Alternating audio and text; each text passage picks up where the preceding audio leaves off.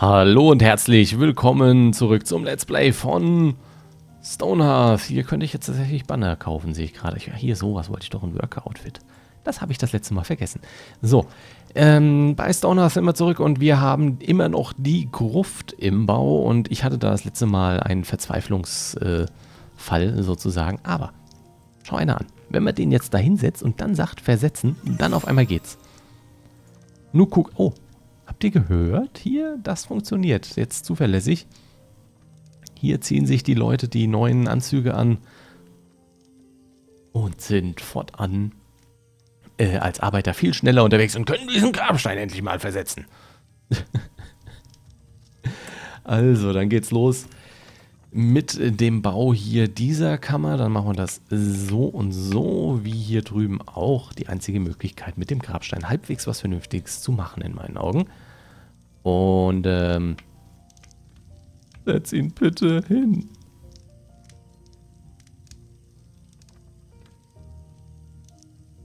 Setz ihn hin. Machen mich wahnsinnig.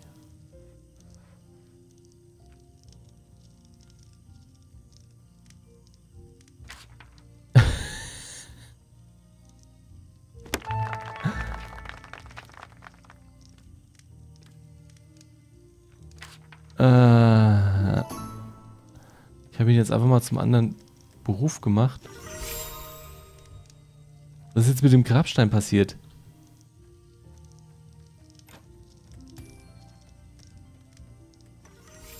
Was ist jetzt mit dem Grabstein? Was ist...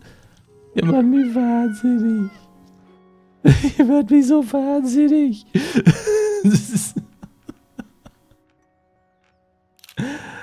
Alter, ich hab das nicht verdient. Du bist jetzt wieder Arbeiter und jetzt spuck den Grabstein wieder aus. Alter, dieses Game. Es hat meinen Grabstein gefressen. Livi. Livi, wohin bist du? Oh Mann. es ist egal, jetzt ist es mir jetzt so langsam bin ich an dem Punkt angekommen, wo ich sage, es ist mir egal. Finish Editing, Bild, jawohl, Bild und hier auch. Jawohl. Ja. Jawohl. So. Supi. Dann, äh, was uns jetzt noch fehlt, ist ein Dach über dem Kapäufchen hier. Ähm... Ist die gute Frage, wie wir das äh, Ding in schön hinbekommen. Das wäre ganz sinnvoll. Also erstmal die Frage, was für eine Dachfarbe nehmen wir? Nehmen wir Rot, nehmen wir was Blaues, nehmen wir hellen Stein, dunklen Stein, roten Stein. Wir nehmen die Wandfarbe, oder? Vielleicht ein bisschen heller. Oder so im Wechsel, hell, dunkel, hell, dunkel. Mal gucken. Auf jeden Fall hier drin soll es eine Kuppel geben. So, wenn die hier runterkommen,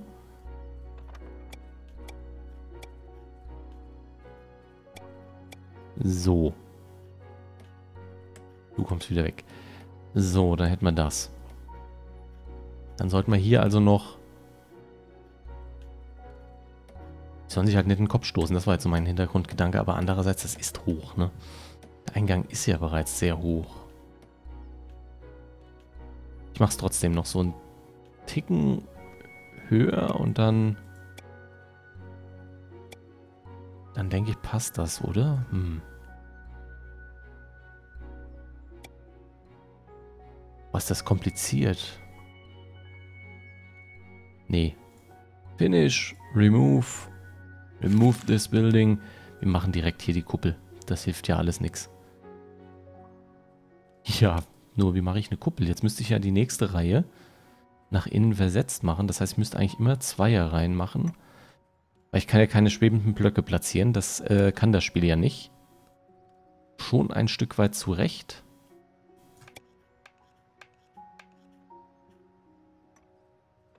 Und hier ist die Frage, ziehen wir das bis hier? Also hier ist die Wand an den links entlang, also müssen wir es bis da ziehen. So, damit das symmetrisch ist. Symmetrie, ihr wisst. Das A und O. Sollte irgendwie mein Spruch ähm, meinen Spruch für, für, für einen Kanal mal entwerfen. Let's Plays mit Symmetrie. Andere haben so mit Sinn und Verstand, mit Herz, mit, äh, nee, hier mit Symmetrie. Das, äh, ist wichtig. Herz. Pff, kann jeder. Aber Symmetrie. Ah, ist das schwierig. So, das, ähm, können wir so machen. Ich bin gespannt, ob das eine Kuppel gibt, wie sie sein soll, weil ich sehe irgendwie nichts. Ich weiß nicht, wie es euch geht, aber ich sehe nichts. Ich sehe fast nicht, was ich hier baue. Weil das irgendwie mit den Kontrasten hier, ne, wie immer, so wahnsinnig schwierig ist. Jetzt zieht man darüber. Und dann zu noch die Bäume, die einen dann ab und an die Sicht versperren und es äh, einem nicht ermöglich machen, zu bauen an manchen Stellen. Das hier jetzt zum Beispiel konnte ich gerade nichts ansetzen, weil da ein quasi, äh, quasi unsichtbarer Baum im Weg ist. Der schon auf durchsichtig geschalten ist, aber irgendwie nicht durchsichtig sein will. So, äh, ja, und jetzt? Wie komme ich jetzt in die nächste Ebene? Ich könnte es über die Ecken machen. Dass wir immer in die Ecken gehen. Hier, hier, hier, und hier. Und dann hätten wir darüber immer die nächste Ebene, die es auch relativ einfach machen würde zu bauen. Komm, so machen wir das. Und so, und dann wieder in die Ecken. Wird eine ganz schön hohe Kuppel. So, so. So und so. Zack. Zack. Ich sehe was, was ihr nicht seht und das ist unsymmetrisch. Die Säule. Alter, ich geh kotzen. Moment, ich hätte jetzt dieses ganze Dach hier eins kürzer machen müssen. Ist das euer Ernst? Was passiert denn jetzt, wenn ich das hier... Ich, ich, ich ziehe es jetzt erstmal durch. Ich, was passiert denn, wenn ich... Es ist sehr... doof. Moment. Also ich komme ja auf jeden Fall über die Säule drüber. Äh, von der Höhe zerstört sie mir nichts. So, wenn ich jetzt hier quasi einen Deckel draufsetze.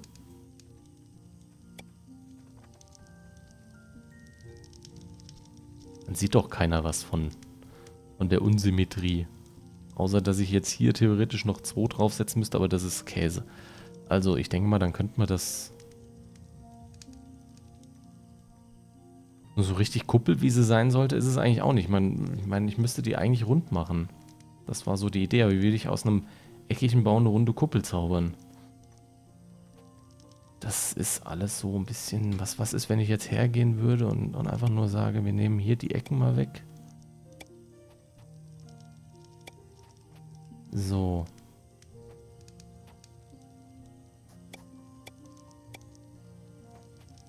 Hm.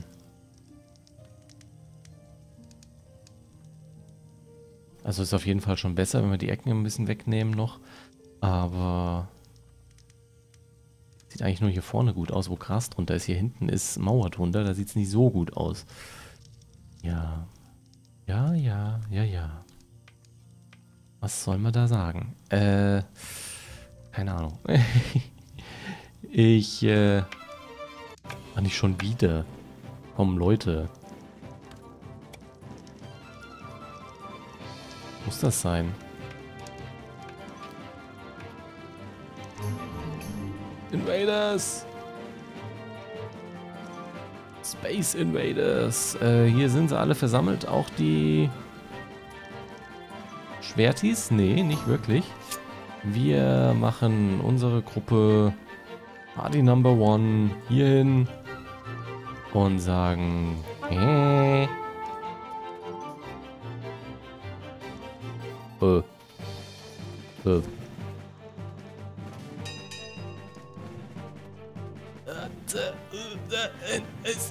Ruckel. War jetzt zu viel. So. War zu viel fürs Game. In der Geschwindigkeit konnte es nicht kämpfen. Daily Update! Äh, so knapp. Okay. Ähm. Ja. Also, es ist durchaus, äh, sag ich mal, ein anspruchsvoller Bau. Ich werde mir da auch, wenn ich das äh, Community-Dorf dann irgendwann mal wieder, also was heißt irgendwann, wenn die Alpha 11 dann kommt, gibt es das nächste Community-Dorf, dann werde ich mir sicherlich nochmal Gedanken machen, wie man eventuell eine Gruft oder dergleichen ein bisschen schöner bauen kann. So richtig zufrieden bin ich wahrlich nicht. Hier die Plätze, wie gesagt, die will ich nutzen. Äh, hier den Eingangsbereich, ja.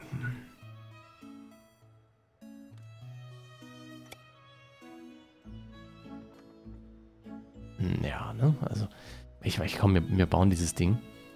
Äh, sei es drum. Ist ein wenig Kontrastes drin. Ich glaube, beim Dach tut es immer ganz gut, wenn man verschiedene Farben miteinander kombiniert. Das haben wir auch hier, als ich mal den Dachdecker gespielt habe, gemacht. Ich weiß nur gerade nicht, warum wir es nicht sehen. Oh, doch, da sehen wir es. Aber ja, das ist auch nicht so krass. Aber hier ist es hell. Diese Ebene ist dunkler, die ist wieder hell oder heller. Ähm, die Autodächer, die, also die, die automatisch erzeugten, die haben diese, diese, diese, ja, soll man sagen halt, ne? Diese Akzente so gesetzt, das ist aber halt, sieht jetzt auch nicht so toll aus. Also, hm. Hier passt's, ne? Also hier ist schon schön. Ich denke mal, dadurch wirkt das Dach einfach so ein bisschen, ein bisschen besser. Hier bin ich mal gespannt, wenn es jetzt so ein einfarbiger Klotz wird, kann schon sein, dass man kaum irgendwie die Kontraste erkennt zwischen den Stufen. Aber so, so gesehen ist es irgendwie erstmal ziemlich hässlich. Also sauhässlich, ehrlich gesagt. Aber egal, wir haben es probiert. ich habe ein Bestes gegeben. Es war nicht viel. Wie, wie steht das dann in, in, im Zeugnis? Er oder sie bemühte sich rätlich, äh, redlich. Das ist äh, ungefähr das, was wir hier dann haben. So, wie sieht es denn hier aus? Da hinten das Ach was. Warum? Ach Kacke. Habe ich den nicht... Habe ich da nicht... Das ist aber... Mist. Habe ich wohl nicht im Bau gegeben. War wohl ein separierter Bau da hinten. Mal schauen, ob das jetzt noch kommt. Damit der Kopf wenigstens nach hinten noch so ein bisschen Auswirkung hat. Das war ja so bei der vorletzten Folge, glaube ich, dann notgedrungen nötig, dass wir den Kopf verändern, damit wir hier überhaupt weiterbauen dürfen. Ja, und hier brauchen wir noch eine Treppe. Leiter vielmehr. So. Das wird. Das wird. Die Leiter wird automatisch gebaut, wegen dem Kreuz, nenne ich es mal. Das passt. Und hier müssen wir jetzt schauen, dass wir einfach nur diesen Pinöckel da hochziehen.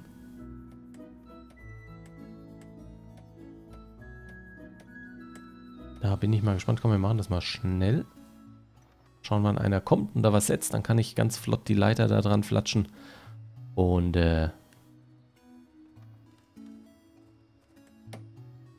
Hihi. Oh. Nein, nein, nein, nein, nein, nein, nein. Nein, nein, nein, nein, nein. Aus. Stopp, Moment. Stopp. Halt. Nicht, nicht, nein. Lass das. Scheiße. ja, äh, weg damit.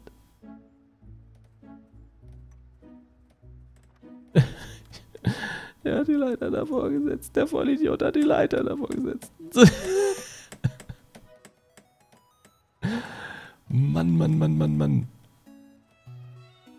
So, wann kommt der nächste mit dem Steinchen?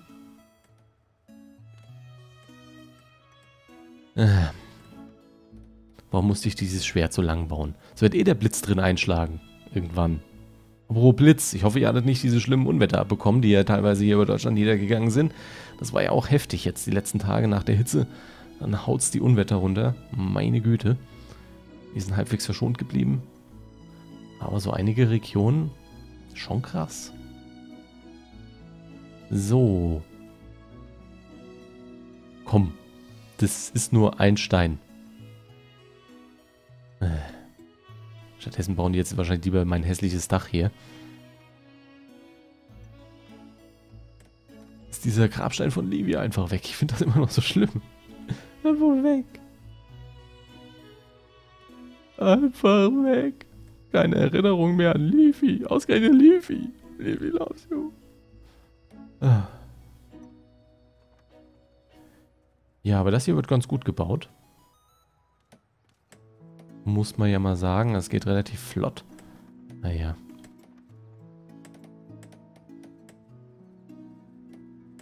Naja, ne? Also für den ersten Wurf in der Gruft äh, hat dann eher was hier oben von der Pyramide.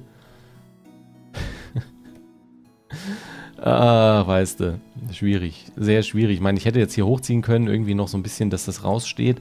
Und dann dem Ganzen ein klassisches Gruftdach, also eckig hier irgendwie, ein bisschen verschnörkelt mit anderen Farben. Aber ich wollte halt mal versuchen, eine Kuppel zu machen. Nur eine Kuppel...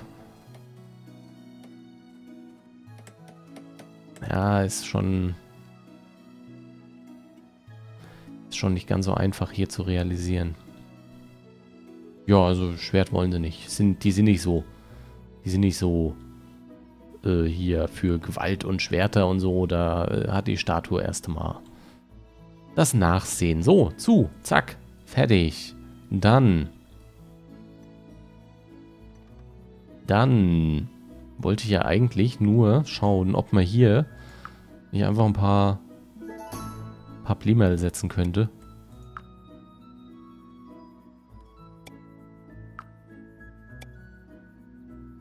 Und äh, wie habe ich es gemacht? So. Na komm. So. So. dann da.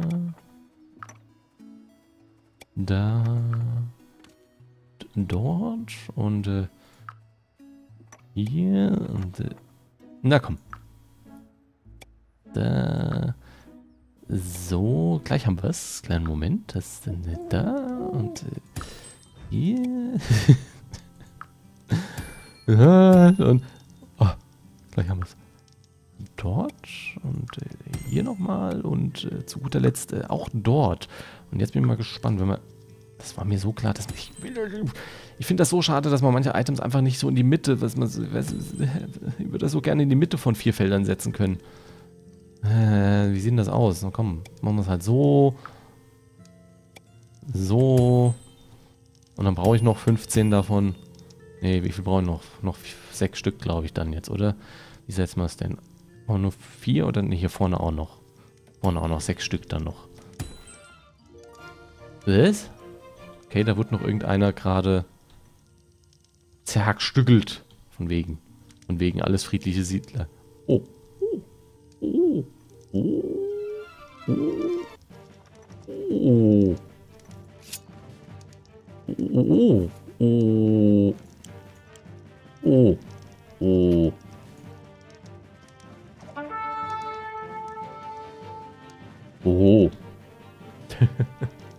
oh, hier ist noch eine. Hier ist, das ist Leafy, die ist aus der Gruft aufgestanden, weil sie ihren Grabstein nicht bekommen hat. Richtig was los hier.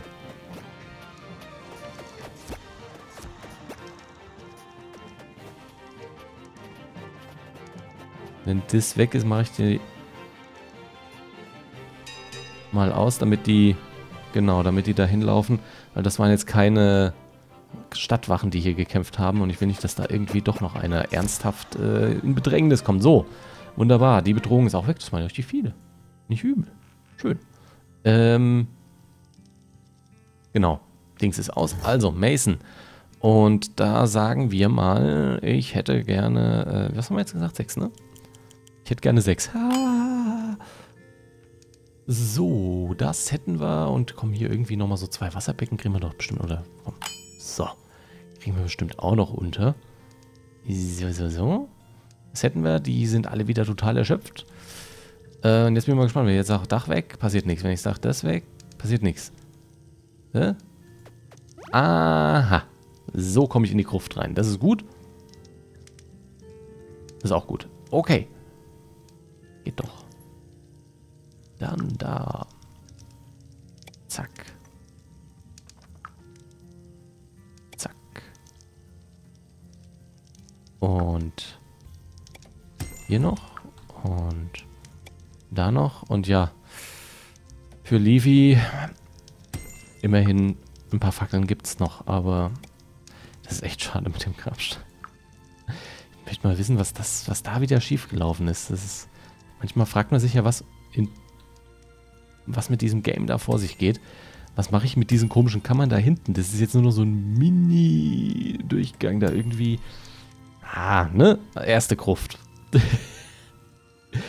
Geht sicher besser. So, wir machen wieder... Komm, wir machen es aus. So. Haben wir das. Ja, unsere Pyramide von Buxtehude. Ey, das gibt's doch gar nicht. Was ist hier los? Was ist los mit die Invaders? Ähm. Hier sind überhaupt 1000 Meldungen. Was? Ich krieg einen neuen?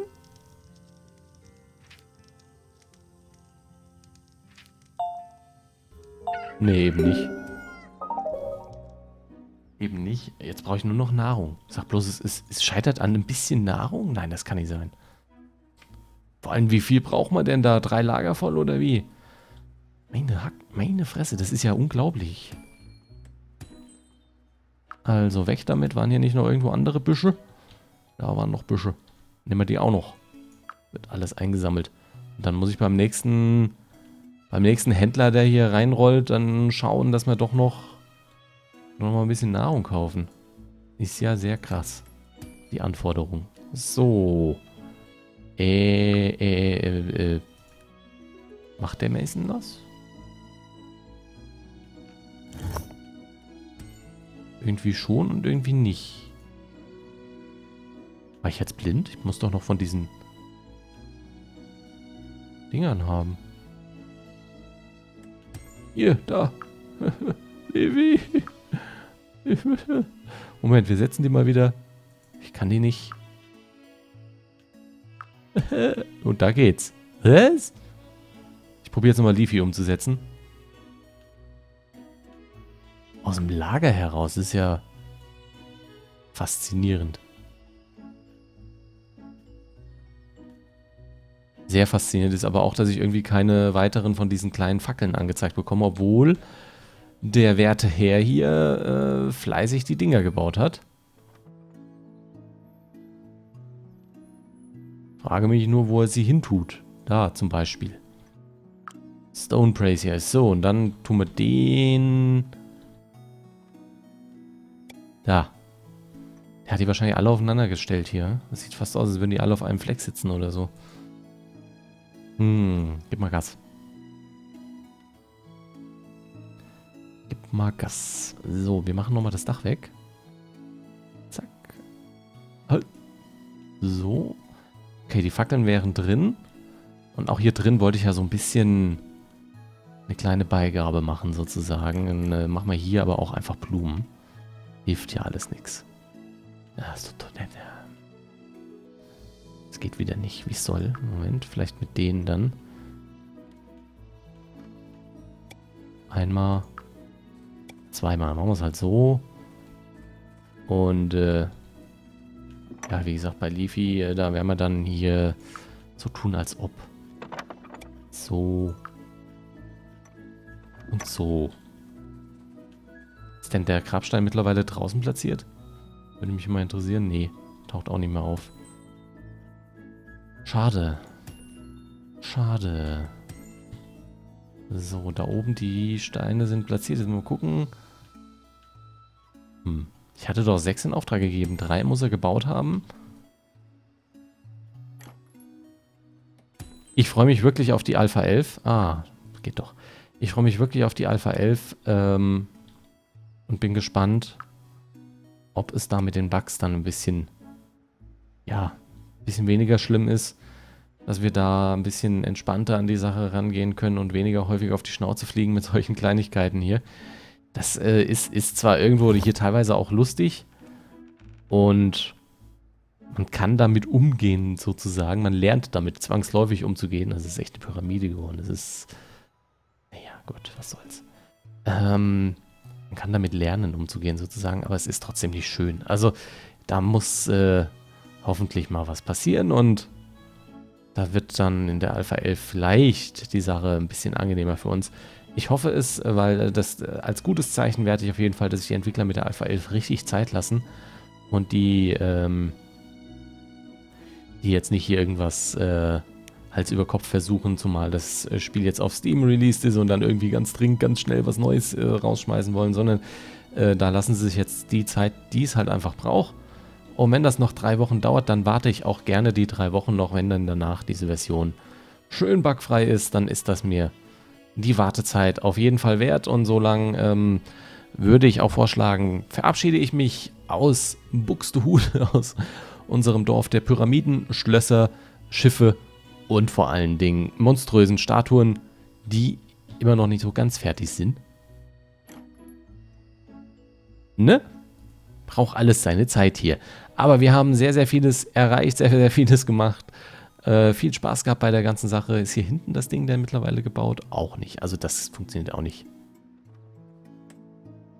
Das funktioniert auch nicht. Also insofern, das sind so ein paar Sachen, die einfach jetzt noch nicht so ganz wollen, wie sie sollen. Und ähm, ehe wir uns jetzt hier mit dieser kleinen, fuddeligen Detailarbeit herumschlagen, sage ich an dieser Stelle vielen Dank fürs Zuschauen bei dieser erneuten kleinen Staffel von Stonehearth und äh, bei der nächsten, ich nenne es mal Staffel, also wenn wir hier das Game in der Alpha 11 dann wieder auskramen, geht es dann weiter mit dem Community-Dorf. Dann könnt ihr euch wieder bewerben. Ich mache das erneut. Das heißt also, die, die sich letztes Mal um Namen beworben haben, werden wahrscheinlich auch wieder dabei sein. Aber schreibt es bitte einfach erneut in die Kommentare rein so dass auch andere wieder eine Chance bekommen, im Community-Dorf dann dabei zu sein. Wie und was und wo, das äh, erzähle ich dann. Bitte jetzt noch nicht anfangen, da sich zu bewerben, sondern das kommt dann entsprechend, sobald das Dorf gegründet wird und wir dann zusammen dort loslegen können. Das, äh, ja, ich habe so eine kleine Vorstellung, wie ich das oder was ich gerne bauen würde, bin da allerdings völlig flexibel. Wenn ihr also andere ganz tolle Ideen habt, was ihr gerne mal sehen wollt, das könnt ihr jetzt noch fleißig reinhauen in die Kommentare. Da bin ich euch auch sehr dankbar für eventuell neue Gedankengänge, die ich so noch gar nicht hatte. Und ähm, jetzt ist der Endscreen schon wieder fertig, aber ich noch nicht. Und äh, ja, und dann äh, schauen wir mal, was wir dort auf die Beine gestellt bekommen. Ich hoffe, ihr seid zahlreich wieder dabei. Ich hoffe, ihr nehmt es mir nicht übel, falls es jetzt, je nachdem, wie lang es dauert, bis die Alpha 11 kommt, ein paar Tage, Wochen, vielleicht sogar ein, zwei, drei Wochen Pause gibt, je nachdem, wie lang es halt dauert. Aber ich denke mal, Buxtehude ist jetzt soweit erstmal fertig. Ähm, und wir haben viel experimentiert, sodass wir uns dann auf das neue Projekt vorbereiten können, freuen können und auch mal so eine kleine, wohlverdiente Pause vielleicht haben. Also, bis dahin, vielen, vielen Dank fürs Zuschauen. Däumchen hoch, wenn es euch gefallen hat und macht's gut. Ciao.